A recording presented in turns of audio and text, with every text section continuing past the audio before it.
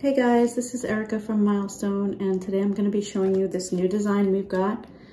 These are gold flowers and I'm going to be applying them to this stoneware mug with a white and a light blue glaze. So let's get going. Milestone decals are an overglaze application, which means they are wet in lukewarm water until they slide easily off the backing paper.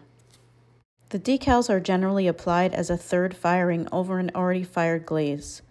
You can see that before they're kiln fired, the gold luster decals are brown.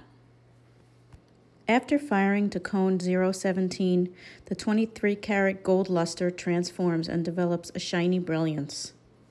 In addition to the garden flowers, I used a combination of other decals to create my design.